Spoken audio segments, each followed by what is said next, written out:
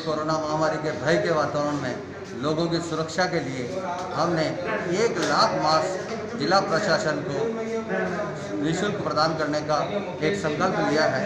इसके माध्यम से हमने आज बारह हज़ार मास्क लेके आए हैं और हम चाहते हैं कि एक लाख मास्क प्रशासन के माध्यम से पूरे ज़िले में जाए और उन व्यक्तियों को निःशुल्क मास्क मास्क से वो अपने स्वयं की सुरक्षा कर सकें और एक सोशल डिस्टेंस को बनाकर और अपनी खुद की सुरक्षा कर सकें। इसके लिए मैं आज जिला कलेक्ट्रेट कार्यालय आया हूँ और कंट्रोल रूम आया हूँ। सोना प्रोसेस इंडिया लिमिटेड और रेणु चैरिटेबल फाउंडेशन के द्वारा हम ये मास्क एक लाख मास्क प्रशासन को प्रदान कर रहे हैं।